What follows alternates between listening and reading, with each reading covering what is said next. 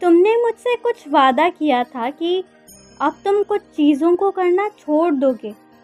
और मैं तो सिर्फ़ यही जाँच पड़ताल करने की कोशिश कर रहा था कि क्या सच में तुमने वो छोड़ा है? क्या सच में तुमने वादा किया था? या फिर उस वक्त तो कर दिया और बाद में भूल गए? बस यही जानना चाह रहा था। यदि मुझसे कोई वादा करते हो ना तो सोच समझ कर किया करो। क्योंकि तुम ब्रह्मांड नायक से वादा कर रहे हो। और फिर अपने वादे पर पूरी तरह टिके रहो। और फिर भी यदि तुम्हें लग रहा है कि वो वादा तुम निभा नहीं पा रहे हो, कमज़ोर पड़ रहे हो तो पहले आकर मुझसे माफ़ी मांगो। या फिर कम से कम मेरे सामने उस बात का ज़िक्र करो। मुझसे शक्ति मांगो, लेकिन मेरा सामना करो। मेरे पास आओ, मुझे बताओ।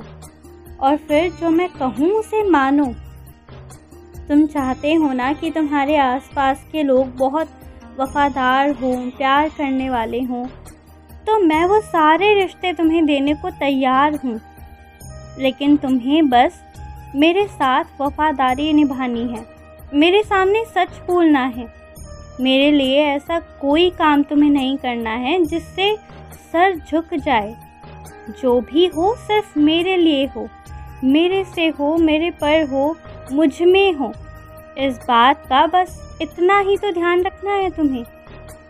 तो मुझे तुमसे पूरी उम्मीद है कि तुम अपनी गलतियों को सुधारोगे। मेरे कुछ बच्चे हैं जो मुझे बहुत शिकायतें करते हैं और बताते हैं कि कैसे मैंने उनकी कई इच्छाएँ पूरी नहीं की हैं। कैसे उनके सपने अधूरे रह गए हैं। पर मैं भी अपने बच्चों से पूछना चाहता हूँ कि क्या तुमने मेहनत की थी? क्या तुमने उस दिशा में आगे बढ़ने की कोशिश भी की थी? जब वक्त बदला, तुमने भी छोड़ दिया और फिर पूरी ज़िंदगी कोसते गए खुद को, मुझे, हम दोनों को। या तो अपनी गलती को सुधार लो और यदि स्वीकार नहीं कर सकते तो मैं फिर से कहूँगा पुरानी बातों को मत दोहराओ। देखो मुझे पता है तुम बहुत अच्छे हो बहुत प्यारे हो। तभी मैंने तुम्हें खींचा है अपनी ओर और, हमेशा के लिए मेरी ही शरण में तुम रहोगे। इसमें कोई शक नहीं है। शिरडी दरबार तुम्हें प्यार करता है लेकिन जो कमियाँ तुम में भी है ना वो तुम्हें ठीक करनी होगी। ये सोचे बिना कि उम्र बढ़ गई है या कम है। जब भी कुछ भी गलत लगेगा मुझे, मैं टोकूँगा, मैं कहूँगा, तब तक कहूँगा जब तक तुम सुधर ना जाओ। क्योंकि मेरा ये काम है कि मैं तुम्हें अच्छा बना कर रखूँ। गलत लोगों से, गलत चीज़ों से, गलत व्यवहार से बचा कर रखूँ। और ये तो मैं पूरी ज़िंदगी करूँगा। चाहे तुम्हें अच्छा लगे या बुरा लगे। पर क्योंकि मैं तुम्हारा बाबा हूँ तो इतना हक तो है मेरा तुम पर।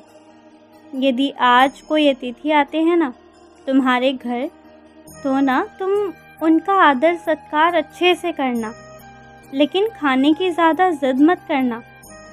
जो जो खाना चाहे उसे वही देना, जो ठंडा खाना चाहे उसे ठंडा, जो गर्म खाना चाहे उसे गर्म। और जो बिल्कुल नहीं खाना चाहे, उससे भी ज़द मत करना। तुम्हें नहीं पता किसकी तबीयत सही है, किसकी तबीयत बिगड़ी हुई है। और हाँ जब भी गुस्सा आए ना तो याद रखना बुरे वक्त में कैसे किसने तुम्हारा साथ दिया था। बस उतना ही याद रखना, सारा गुस्सा गायब हो जाएगा।